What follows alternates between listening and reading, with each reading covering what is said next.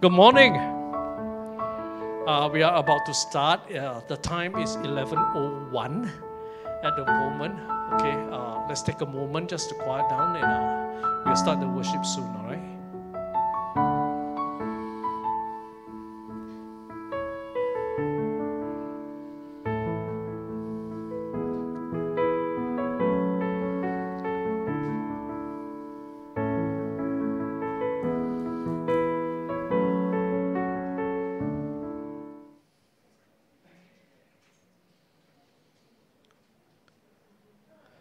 Good morning. Welcome to Yishun Methodist Mission uh, worship service online. Uh, no, online will be later, uh, but on site as well. All right. Uh, let's rise with the call to worship.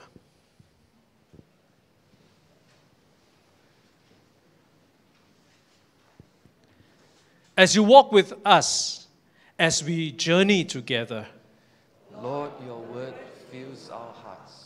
As you speak with us, as your love is revealed, Lord, your fire burns in our hearts. as we proclaim what we have seen and heard. May all people be drawn to you, the risen Lord. Amen. Let's remain standing. Let's have uh, the worship team leading us into a time of worship to ensure your mask is on. And sing to the Lord.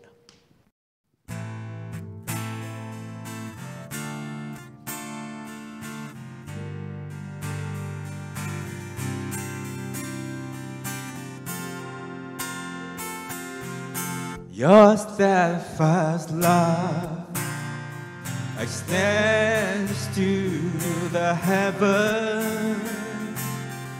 Your faithfulness it reaches to the clouds.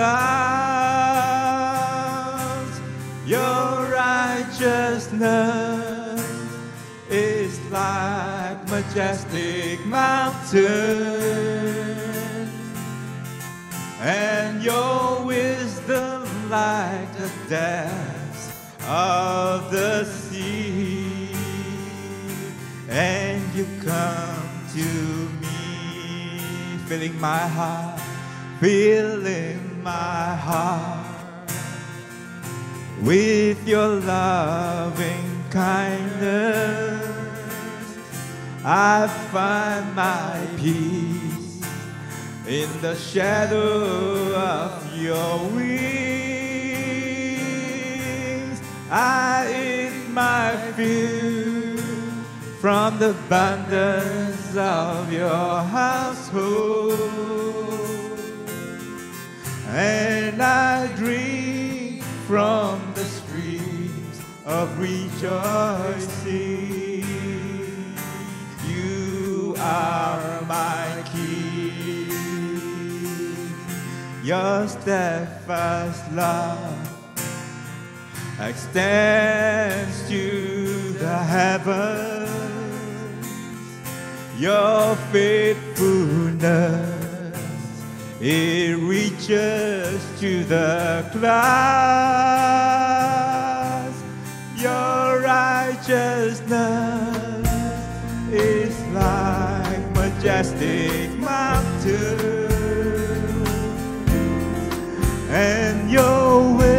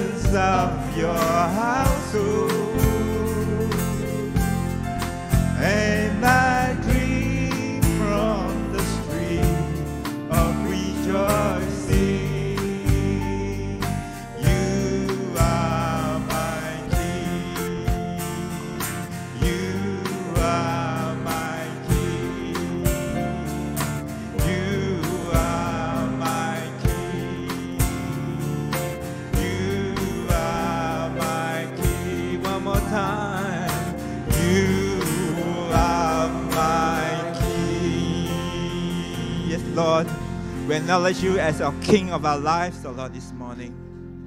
And Lord, indeed, we thank you for your love, your steadfast love, your mercy, and your grace.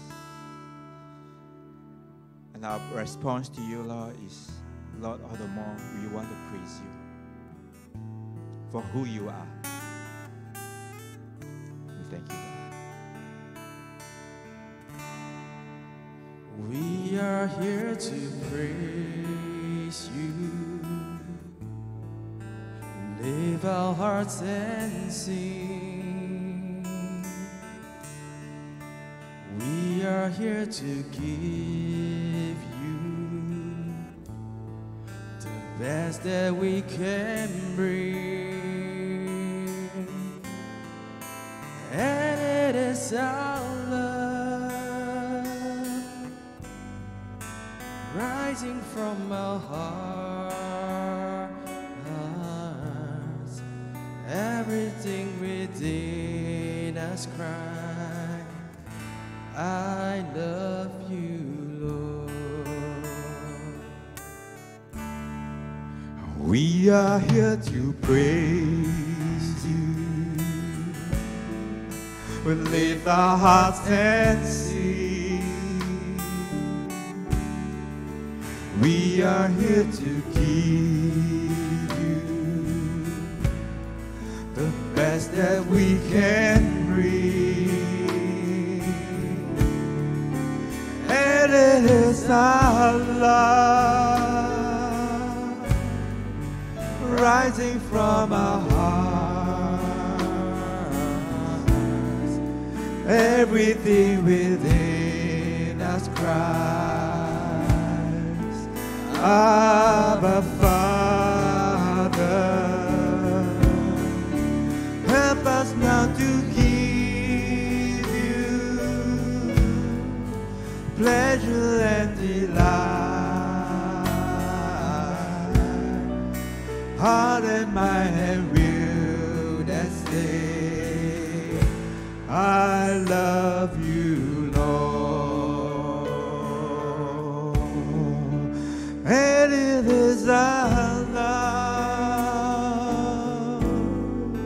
rising from our hearts.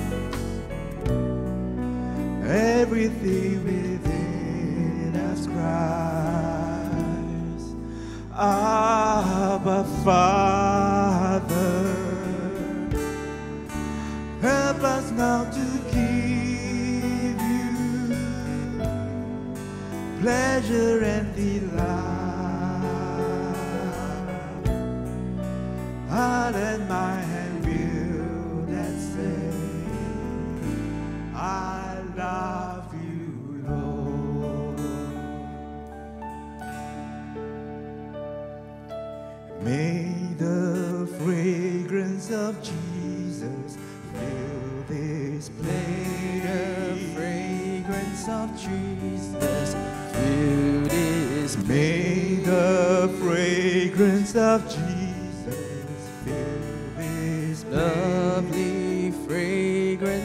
Jesus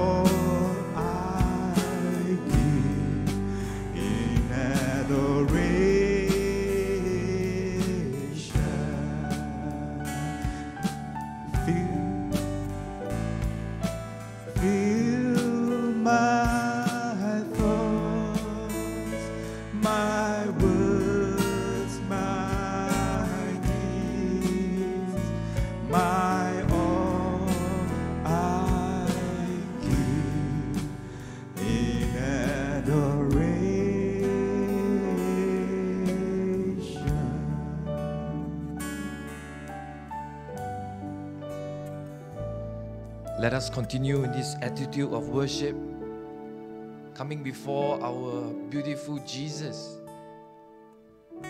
Let us bow our heads in prayer. Indeed, Lord, we thank you that as we enter into a time of worshiping you, Lord, you remind us of your unfailing love. Your unfailing love that is clearly described in the Bible from Adam and Eve Abraham to Moses and Joshua to your prophets and Israel to Peter and your first disciples and to us today, your church. Lord, we thank you. Thank you so much for your love for us. That indeed we echo the words of the song that we are here to praise you. We are here to praise you and to know of your steadfast love for us. For we have clearly seen how your steady hand guides us gently in our life. That in our soul we know that your presence never leaves us. That as we pause and reflect in our time of prayer, Lord, we are reminded that your blessings in our lives overflows. And so, Lord, we respond to your great love in our worship of you. We want to praise you with our lips because indeed you are worthy. God of love, as we respond to your love this morning in prayer, we want to remember our world in our prayer. From the tightening of restrictions in Beijing to the tragic boat accident in Hokkaido, Lord, we continue to pray for the times of need in our world today. We pray that it is in these times that our fellow human beings may find your great love. And we pray that it's in this time that your people will arise and be your hands and your feet to care for those who are suffering, to care for those who are in need. O God of love, as we respond to you this morning in worship, we also pray for our community. Thank you so much that most of the restriction have eased, that social interaction is resuming. But yet, Lord, in prayer, we recognize that there are still brothers and sisters in Christ who are isolating. There are many amongst us who are still overwhelmed with work due to the easing of restriction. Perhaps some amongst us today are burdened with their own load of care. This morning, O oh Lord, we pray that your presence, that your love will be their strength. We pray that our friendship with them will be an encouragement in their time of need. O oh Lord, we also pray for ourselves at this time that as we come before your love, we know that our lives are becoming more hectic. Would you grant us the wisdom to spend time with you? Would you help us to do the things that pleases you above pleasing ourselves? Would you protect the quiet time that we have set aside to spend with you, the lover of our souls?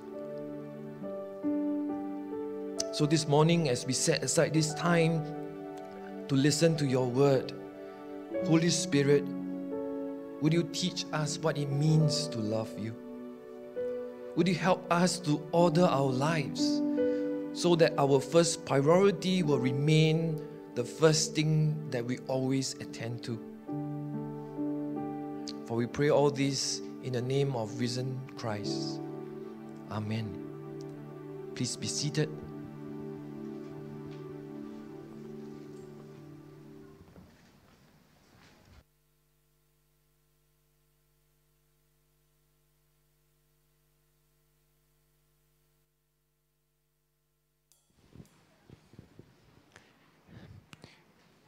This morning's scripture reading is taken from the Gospel of Matthew, chapter 22, verse 36 to 38. Teacher, which is the great commandment in the law? And he said to him, You shall love the Lord your God with all your heart and with all your soul and with all your mind.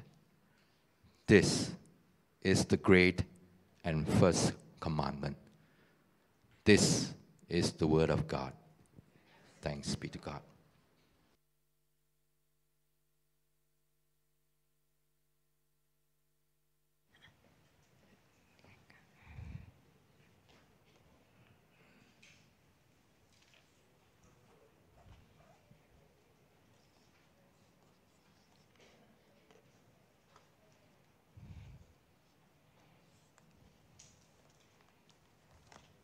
Morning, church. Let us go to the Lord in prayer. Father, we want to commit this time into your hand. We pray for your Holy Spirit to enlighten us. Lord, may you speak to us and help us to respond to your words. In Jesus' name we pray. Amen. Well, in today's world, we do a lot of things to project our identity. You know, it's like um, you know, we try to boost our profile in our social media accounts, you know, in work, in schools, uh, what types of cars do we drive, the brand, you know, the, whether you are driving a BMW, Merc, or you know, normal Toyota cars. You know, in our dressing, uh, the hobbies that we have, and even in our roles in family, to tell people who we are and what we do. But above all this, no, we have an unmistakable marker of our, our identity. Every one of us have this unique marker, and that is our fingerprint. You know, unless we wear a pair of gloves, everything we touch, we will leave our fingerprints behind. Now, I can imagine the images of God when He created Adam no, he picked up the dust from the earth and started to mold the shape of a man. And then from the shape of the body to the little details, you know, like the fingers, the toes, the nose, the ear, everything, you know, everything, the whole process. Know, God leave his finger, the mark of his fingerprints in our life. Well, no wonder the Bible tells us know that God created man in his own image, and in the image of God, he created him, and male and females, he created them. Now, in this whole sermon series, I picked the graphic of uh, a fingerprint for this sermon series to remind us that for the next one month, now we are going to reflect on our individual's identity and also our identity in Christ because our identity inside and out, we are originated in God. And we can either accept this identity wholeheartedly and learn you know, to live out the image of God, or we can run away from it, but at the end of the day, God will still pursue you back to His presence. You know, Singapore is an urban city. You can see skyscraper everywhere. But in order for buildings to last, they must rest upon a solid foundation. And without solid foundation, they may just you know, exist for a while, but they can't stand you know, for a long period of time. So a typical example of the Leaning Tower of Pisa. Now, the tower began to lean during construction in the 12th century due to the soft ground which could not properly support you know, the structural weight. And it worsened you know, throughout the process all the way until the construction was completed uh, in somewhere near 14th century. Sometimes I wonder, why does the builder continue to build since they already know that the foundation of that piece of land is soft and cannot support the weight of the structure. But anyhow, in 1990, the, research, the researcher realized that the leaning tower had tilted more than 5.5 degree, and there's a risk for the whole tower to, to collapse. And so in 93 and 2001, you know, the government provided a team to do some remedial work. And they managed to pull the degree uh, up by another one degree or so, one to two degree. So now it's leaning slightly about three degree to prevent this whole tower from collapsing. However, we all know that this is a problem. And this, is, this whole redeem, uh, remedial work is not going to save this tower. It's just to slow down the process of the problem. And I guess this is a very good example, you know, or a very good reminder for us and when John Wesley, uh, he understood, I believe John Wesley understood that Methodism you know, could begin and remain vital when it is built upon a good foundation. And that's why in 1742, he wrote a treaty you know, entitled um, The Character of a Methodist. This is a short article, you know, and he described you know, the good foundation a Christian should have you know, uh, in Christ. And he described it you know, using the term distinguishing mark. So there are actually five marks that he identified a Methodist or a Christian should have you know, uh, in their walk with God. And to Wesley, he understood it that no, he understood this mark as a life of a disciple, no, live in relation to the scriptural principle and practice that all Christians have followed since the time of Jesus. And all this mark of discipleship is not meant to be isolated no, or creating a separatist um, movement in the body of Christ. You know, we live in a world um, that is you know, very experience oriented. You know, we come to service, you know, many Christians come to service and just want to feel good. The moment when they feel that it's not good, they are not in good mood, they don't feel anything, they don't receive anything, then they will, they will label that, no, oh, I don't have a good uh, worship service today. No, if they get to sing uh, oldies, some songs like today, no, wow, I like the song. All these songs are my youth day song, no, oldies. No, it's like wow, I can identify. I can close my eyes, memorize the uh, the lyrics, and sing with my heart out. Wow, this is good. No, it's very experience oriented this world is a world where no words are cheap and character can be counterfeit. And we are so cautious that no, we want to assure ourselves that no, we invest our time in real thing, in good thing. And when we see it, we are willing to invest in it and make it meaningful. But we realize that it don't take long. Uh, no, it takes something more uh, for us to sustain the kind of experience that we have in our uh, work with God. No, in order to sustain that kind of original uh, encounter, we must put in some intentional effort no, to nourish us and to express us what first God has started. And Wesley is a very disciplined person. So he came up with all these uh, documents to help the Christian of his time, you know, to make sure that they walk faithfully, you know, to follow God.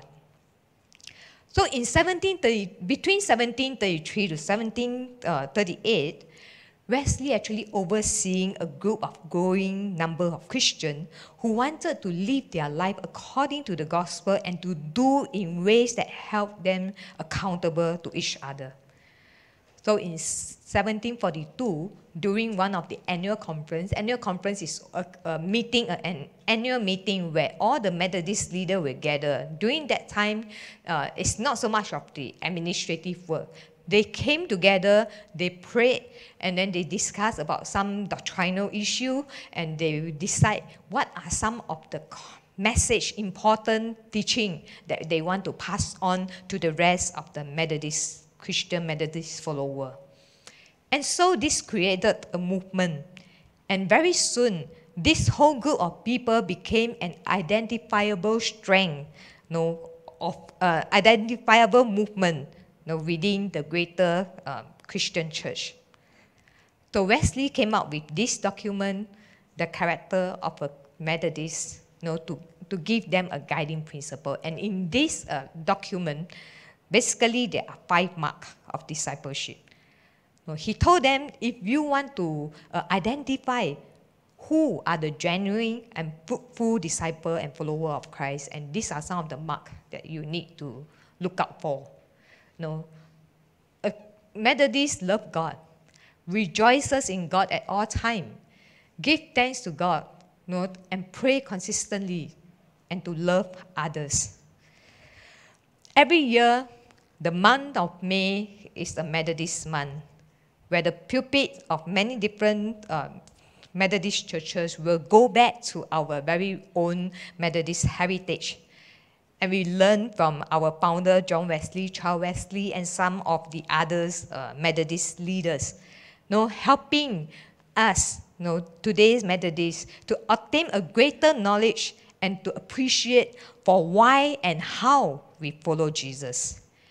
And of course, our annual conference, Chinese annual conference, CAC, we also set this theme of we want to become a disciple making conference uh, for this quadrennium. And I think it is right you know, for us to understand what that does it first means to be disciple of Christ with Methodist distinctiveness during Wesley time. No, we Christians, no, we live our Christian life in relationship to, uh, in relation to two great commands. And we all should know it, which is just now uh, James had read it for us. No, the command to love God and the command to love others. When Wesley identified the first mark of a Methodist disciple is to love God, he wanted the Methodists to, them, to get themselves rooted in God's love. By beginning with God's love, when you do it correctly, no, Wes- Wesley actually connects the, earl- the rise of the early Methodism with the essence of gospel. No, with the very word of our Lord Jesus Christ to love God and to love others. And with the core motivation of, for everything that follows between the first and the 18th century. And of course, I think it applies to us in our lives today. Our life in Christ begins with the love of God. And today's passage, it shows us that there's a group of religious leaders trying to um, challenge Jesus to see whether he understands the law or not. And so this lawyer you know, questioned Jesus, that teacher, know, what is the greatest commandment in the law? And Wesley obviously, uh, this Jesus obviously you know, respond and say that you must love the Lord your God with all your heart and with all your soul and with all your mind. This is the first and the greatest. We need to recognize that without the love of God, there is no other starting point for our journey of discipleship.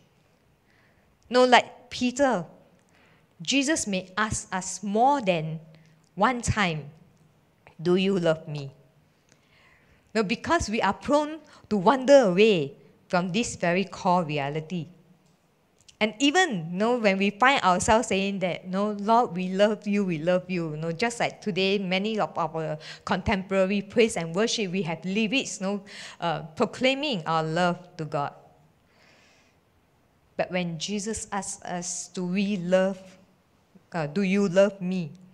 He actually forces us to think deeper into our response to see what we really mean by it. What do we really mean by saying, Jesus, I, I love you? No, Jesus focuses on focuses our understanding of love in relation to a world that alleges to love all sort of things. Some of our love are actually uh, addition or no illegitimate. No, and Jesus must challenge it or even to break it down. No, especially uh, some uh, habits no, that is harmful to us, no, spiritually or physically. No, we love it, but it's not a genuine love. And even when we embrace no, a true, genuine love, we also must allow God to us, uh, to help us to reflect no, whether this love is from God, you know, from the divine center, or is this love is just only a, a rush, a, an impulse, you know, and after that, you know, we, we will forget about it and, and things like that. No, just as Jesus commanded us to love God, He's actually bringing all our love from all aspects you know, into this holy and sacred relationship. To love God brings us together into a unified personhood, just as Parker Palmer puts it. No, we are divided no more. So, brother and sister, the love of God and for God. No, for John Wesley, it is the keynote theme for the rest of his life and his ministry. And it is also the hallmark of a Methodist disciple. He wanted the early Methodists to learn how to first receive God's love into our heart by the Holy Spirit, and then respond this love by living out the two great commandments to love God and to love others. Having received God's love first, we then return, we love God in return with everything that we are and everything that we have. And this is the first and foremost of a Methodist disciple. Well, we may have heard from other speakers that there are many types of love no mentioned in the Bible. The Phileos love, no friendship love, the eros, the eros love, the erotic love, the storge love, the affection love, and finally the agape love. Most of us you know we understand it as sacrificial love. And this love that that you know, Jesus is talking about, this love that Wesley affirmed, you know, is agape love, you know, the love of God. And the quality of this love is based on the lover and not the one being loved. Which is to say, the other person may not be as lovable, or the other person may not even want us to love him or her, or at least not appearing to do so, but we still love anyway. When we need to show agape love, there's this sac- sacrificial aspect. Sometimes we will feel painful we will feel a little bit of unwillingness, but we still need to force ourselves to do it. You know, and that is that kind of love that we are looking for. Know, and in fact, this is exactly how God's love us. Many of us have experienced it. We experience what Charles Wesley called the amazing love. And we sing the hymn, and can it be? No, this is that amazing love that thou, my God, has died for me. And John Newton called this love amazing grace. And how sweet the sound. And this is what Apostle Paul means when he wrote in Romans chapter 5, verse 8. But God showed his love for us while we were yet while we were still sinners, Christ died for us. For those of us who didn't go out in church or who is uh, uh, not a Christian since young, you know, in the past when we heard about God, we heard about Christianity, we may have a good laugh. Know, we may even tell our friends, Aya, don't tell me about your faith, but don't tell me about your Christianity. No, we just drink kopi can already. No, if not, then no, uh, uh, I'm afraid no, we, we cannot even be friends and things like that. No, we will laugh at it. Some of us, we ran away from the presence of God. And some of us, we even spit in the face of God. We reject Him. We reacted. No, when family member receive Christ, no, wow, we go all out to go against that particular family members. But at the end, what do we receive? We receive the love of God. Brother and sister, being a Methodist disciple, we must understand that we are dearly loved by our God, the Father. He loved us with this most radical kind of love that we can ever think of the unconditional love, no, the unrelenting love, the unending love, the unbelievable love. Who will ever love us in this way except God? The first mark of discipleship isn't call us to increase our love for God. It's call us to receive God's love. It is only when we receive God's love, then we receive the ability to love others with the love of God.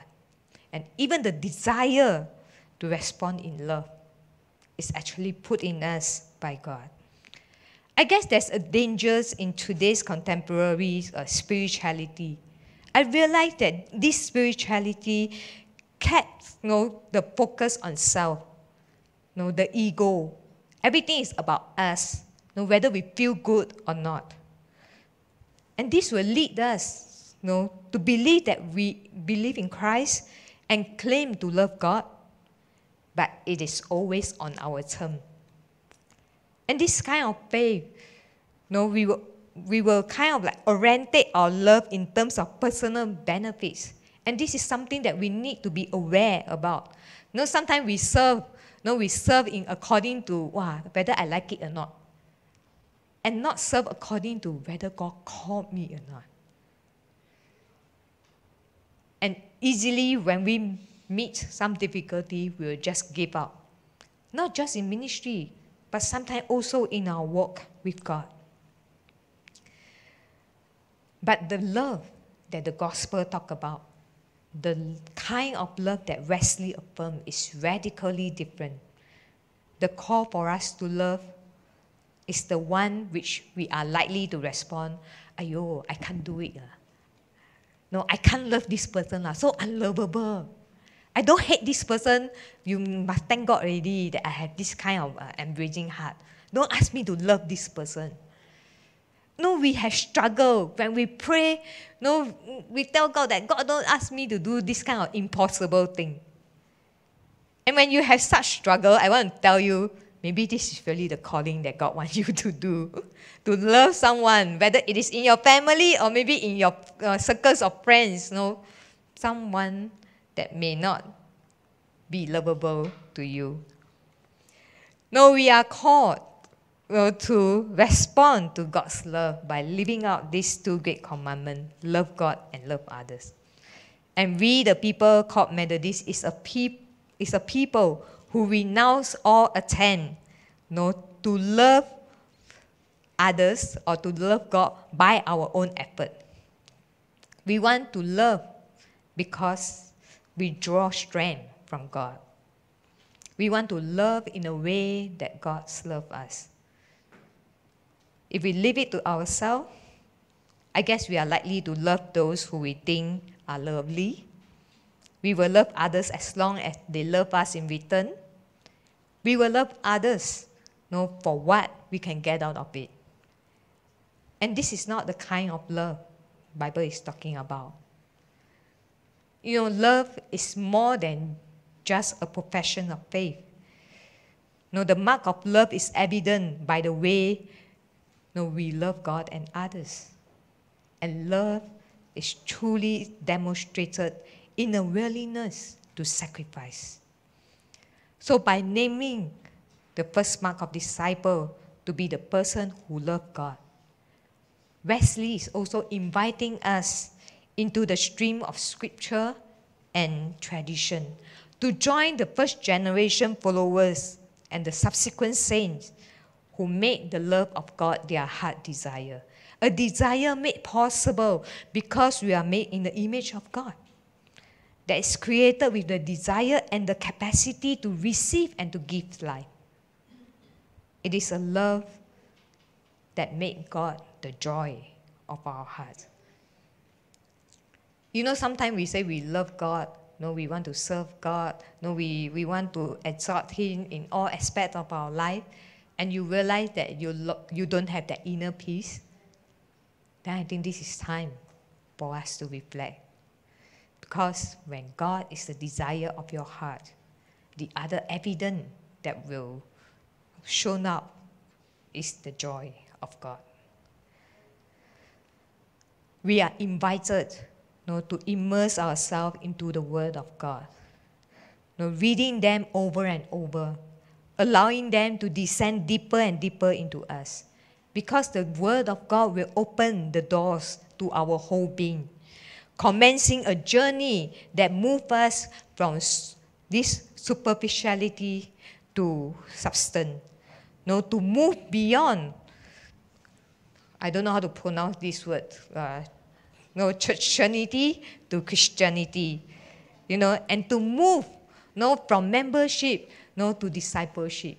We, we want, we need to deepen our relationship with God in that aspect. No, we don't stop there. In fact, during Wesley time, many of those people whom Wesley ministered, they are already Christian. They are already member of a congregation. But he challenged them to build a deeper relationship, a deeper life in Christ, one that will reflect the love of God. Because the love of God produces true joy and abundant life. To Wesley, the church is necessary and good. But he wants the Methodists to recognize that the church isn't perfect. If we stop with the love of church, we will eventually be disappointed and hurt. And I guess many of us here, we encounter it somewhere, somehow, uh, in different extent of it. And, you know, the, a profession of faith is necessary and good. You know, to tell people that I am a Christian, that is good. But it isn't the whole of Christian life. New birth is essential because it is where we begin the journey of discipleship. And we, if we only stop at doctrinal faith, then we will eventually be discouraged. You know, when we see a group of Christians just debating about it, and we ourselves coldly living it, know, we don't care about all this doc- doctrinal faith and things, all this teaching. So I guess as we come to the Lord's table this morning, I really pray that we come, we return to the love of God. Remember the two disciples? They were so discouraged, they lost their hope you know, on their way to Emmaus. But it, it is at his table when Jesus, when the Lord break the bread, broke the bread, they recognized him. And I pray that by receiving Holy Communion every month, we don't take it for granted. We pray and ask God to help us to open our eyes, to help us to deepen our experience with Him. God's love is the source, the supply, and the life of every disciple. And in fact, you know, we should set it as a goal know, to have the love of God to fill us fully. And this is what Charles Wesley, the younger brother of John Wesley, said in one of his hymns. He said, Love divine or love excelling. No, joy of heaven come down, uh, to earth come down. So in our today's word, that means this holy love come no, to the earth, fix in us thy humble dwelling. That means stay in our heart, stay in our life, no, lower yourself, no, and all thy faithful mercy crown. Jesus, thou art all compassion, pure, unbounded love, thou art. Everything, no, the compassion, pure, unbounded love, you can find in Jesus. Visit us with thy salvation. Enter every trembling heart. We pray and ask God to give us a heart to fear Him, to desire Him, to let this salvation you know, to, to be in our life so that we can live a life abundantly. And let us pray. Father, we want to commit ourselves into your hand. Lord, there's a lot of time our love are motivated by our own ego instead of responding to your love. Today we are reminded that our life bear the mark of your fingerprint. And Lord, your word is supposed to be alive in us today. Lord, we pray and ask that you help us. Help us to desire you more. Help us to encounter you in your words. And help us to orientate our life around your love so that we will be led by you. Father, if there is in any way that we have offended you, we have loved the wrong things, we pray for your forgiveness.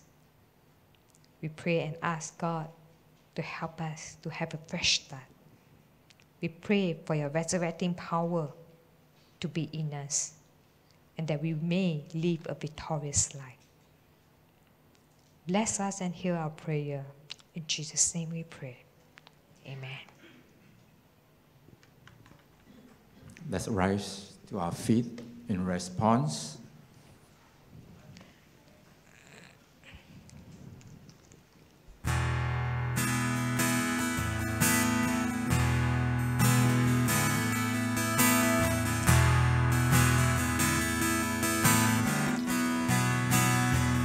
Just let me say how much I love you. Let me speak of your mercy and grace. Just let me live in the shadow of your beauty. Let me see you face to face,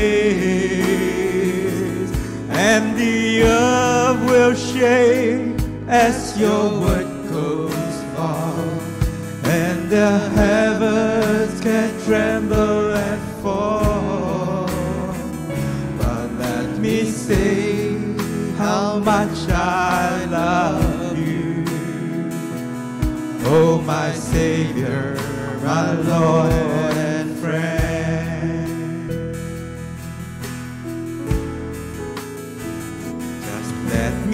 hear your finest whispers as you gently call my name. And let me see your power and your glory. Let me feel your spirit's flame. Let me find the desert till this sand is holy ground, and I am found completely surrendered to you, my Lord and friend.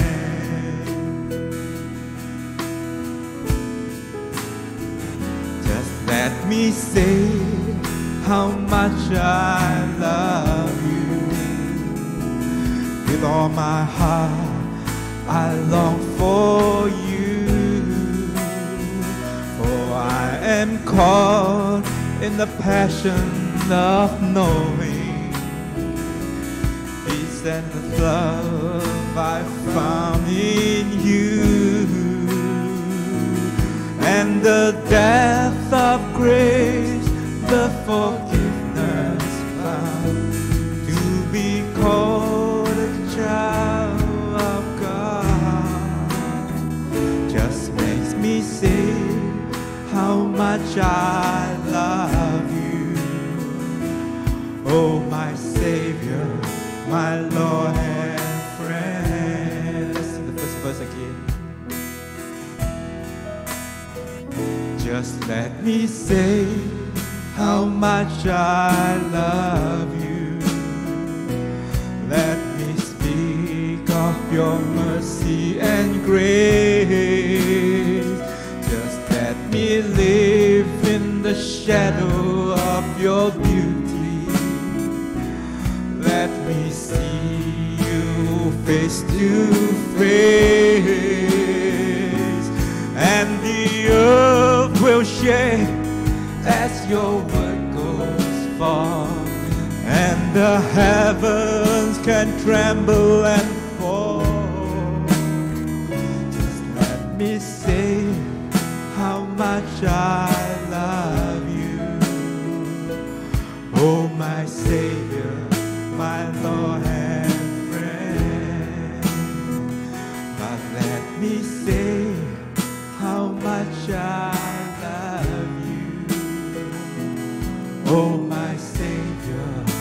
my Lord and friend.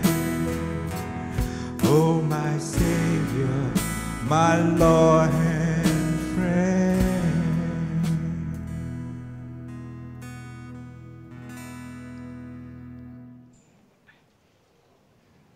Good morning, brothers and sisters in Christ. Uh, there's just some adjustment, okay? We are not at the end of the service yet.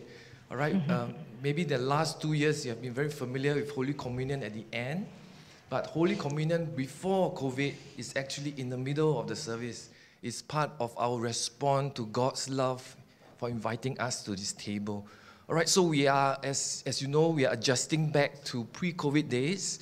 Uh, that's the reason why the Holy Communion is placed in back where it is in its original position. And then we continue in the worship uh, in a response to God and His love by being aware of our family news, our spiritual family news. And that's the reason why I'm standing here this morning. I want to welcome all of us uh, back to our sanctuary. Uh, for the first time, we don't have to say online because it's going to be a delayed telecast uh, for Holy Communion service. Uh, but I noticed that today the vibes is very different. I have not experienced YMM with these vibes before the service where everybody is quite happy, chatting, and enjoying the fellowship of one another. Certainly something that we have missed in the last two years. And I warmly welcome you back into the sanctuary. Just take note that there are our social media platforms out there for us uh, to keep in touch with what is happening in our spiritual family. Some announcement for us to take note. This is the second and probably the last time we will make this announcement. The, the restriction have eased, all right? Uh, so I'm not going to go through that, but just how you feel right now, Sunday night, don't have to think, did I register or not? Uh, no, no need to think already. Okay, you just need to show up on Sunday morning, all right? And the other thing that probably we won't miss is you won't hear the tee, tee, uh, no more, no more TraceTogether uh, beeping. Okay, no more SafeEntry. Yeah, but you will notice today that as you come in, oh, the seats closer together. Not, uh, you feel that it's closer together, but no worry, still business class seats, still empty of space, right? Still can walk. If you want more leg space, uh, the first row, the first class seats are right in front. Okay, next week you can see on the first row there's ample of space. But we we we created. Uh, our sanctuary back to almost pre-COVID days, I believe, uh, with having more chairs. Over 100 people are able to sit in our sanctuary every Sunday so that we can worship God together. All right, uh, I've mentioned about uh, live streaming. Live streaming will continue next week, uh, but for Holy Communion, we do not live stream our Holy Communion. That's the reason why it's delayed telecast. Uh, for those who need to continue to worship with us uh, uh, online. All right, I encourage you to look around. Uh, now we need new practices, right?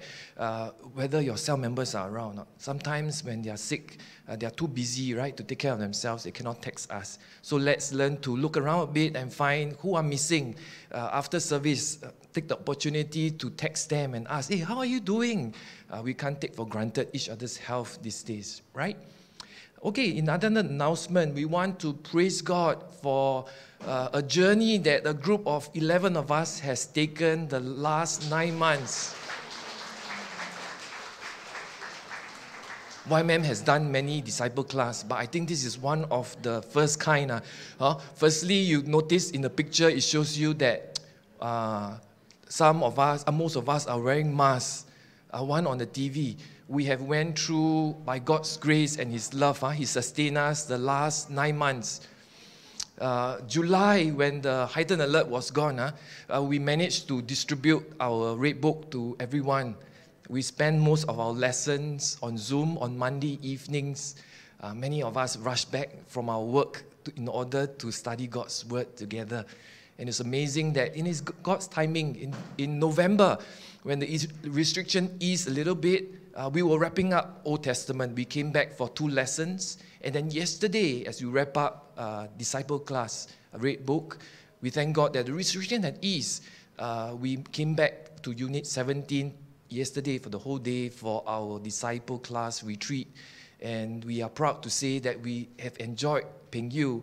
Uh, we enjoyed our lunch there yesterday uh, as one of the first recipients of this space that God has blessed us with. Indeed, we see a lot of God's timing. And personally, uh, to be with this disciple class, I see a lot of resilience. There were times that uh, in a group, somebody will be positive but the person will be so positive that they will still show up for disciple class on Zoom. that is the spirit of uh, YMM, right? We are resilient. Uh, God, we use what God gives us, the online platform, to continue to study His Word. So at this time, I want to invite uh, those of us who are in this picture, would you uh, please rise? We want to acknowledge how God is working in your life. And I,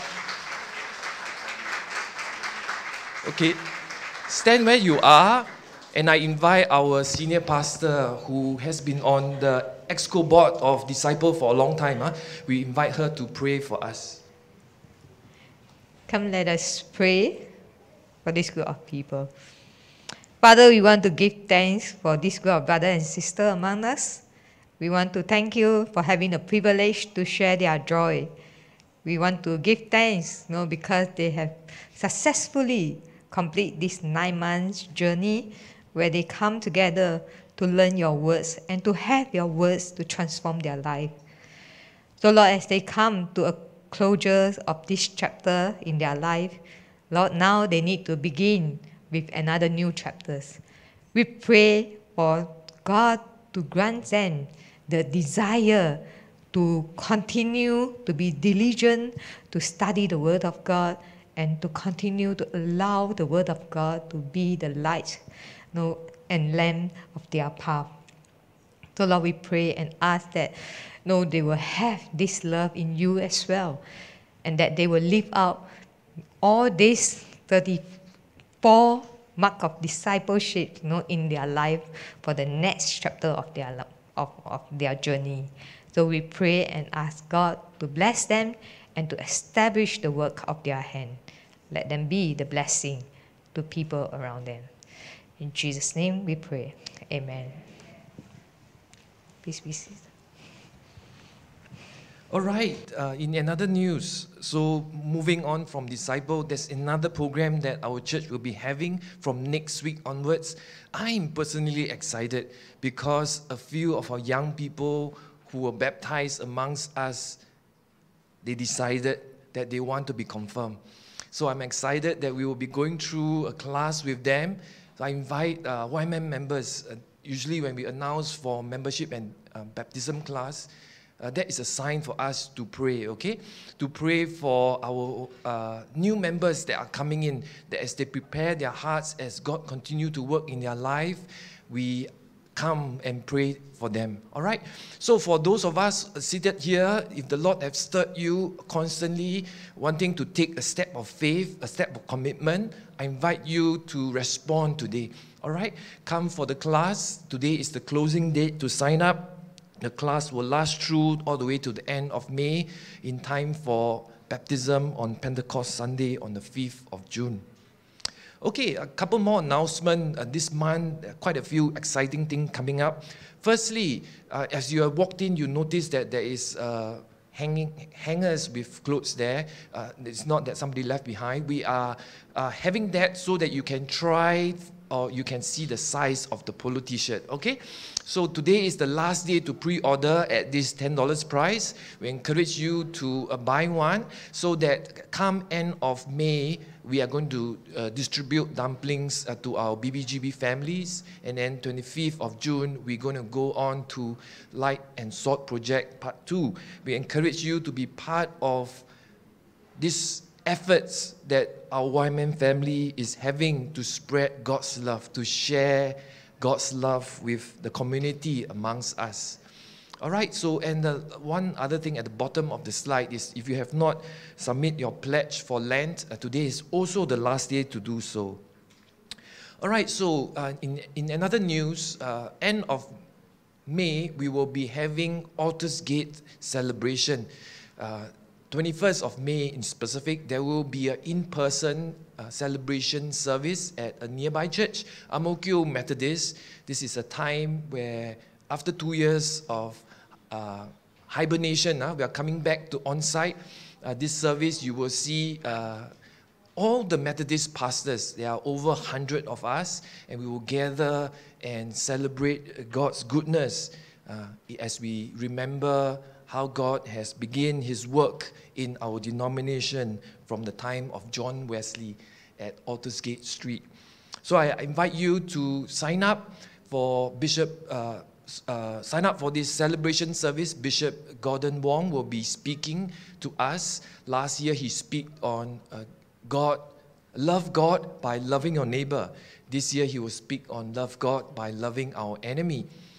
Okay, so Aldersgate is also a time for us to go back to our roots, huh? to know uh, what God has done in the past in our denomination, in our history. So there is also online lectures available on the 23rd and 24th of May. Dr. Andrew Pay will be uh, sharing God's word uh, an hour in the evening on the topics that's listed here.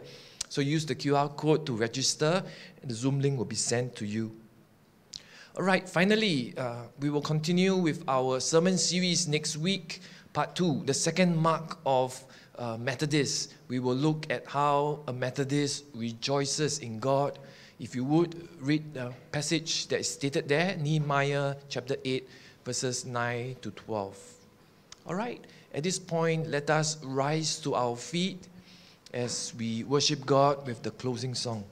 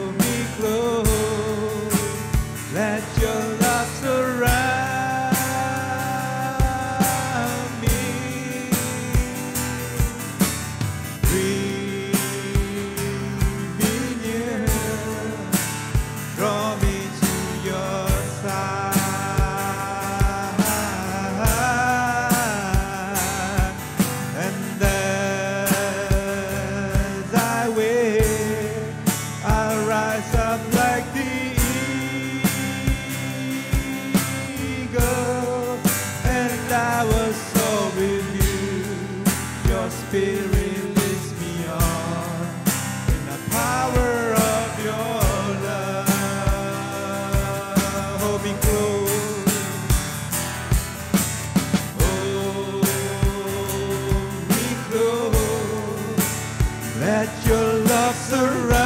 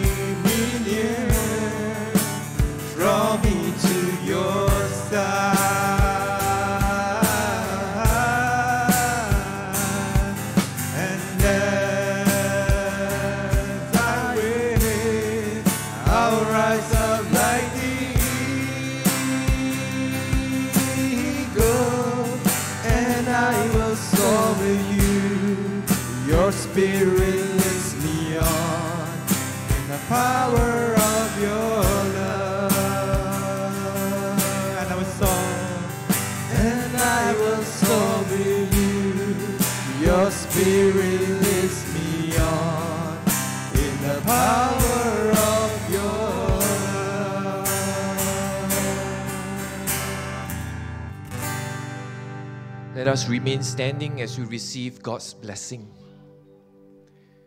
Children of the God of love, go forth knowing that you are dearly loved by your Heavenly Father. That as you love Him with all your heart, soul, and mind, may the grace of our Lord Jesus Christ, the abundant love of God the Father, and the communion of the Holy Spirit remains with you now and forever. Amen. Please be seated. We have come to the end of our worship service. The Lord bless you and keep you.